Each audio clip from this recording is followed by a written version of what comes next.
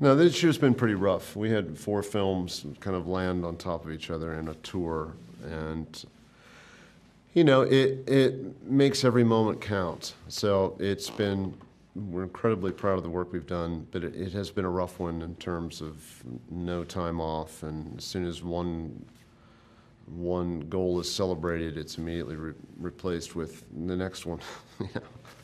So it's been pretty intense at an unsustainable pace. So we're gonna we're gonna try to slow things down for next year. That said, I mean, everything we've worked on this year, including the touring, incredibly proud of what we've managed to do, and incredibly um, in awe of the people we've been able to work with.